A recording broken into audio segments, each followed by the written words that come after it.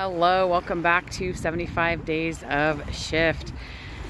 Round four, day 51. And as we're entering this last third of this round, I wanted to talk actually about rebounding and keeping your resiliency.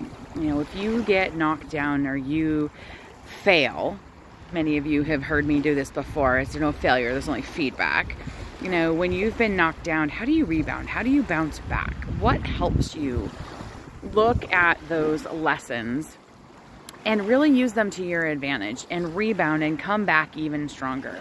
You know, there's a great Chinese, I believe it's Chinese saying that, you know, a fractured cup is even stronger than when it was first made because as it's filled with gold and it's repaired, it's even more beautiful and it's even stronger than it was before.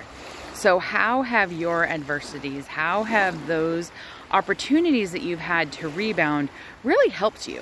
You know, I know I have several in my life and, you know, it's it's been really cool to look back at those and go, you know what, that was a really tough time and look how much stronger I came out on the other side of it. So I'd love to hear your stories. I'd love to connect with you on how you've rebounded and who knows, maybe you're an inspiration for those that follow.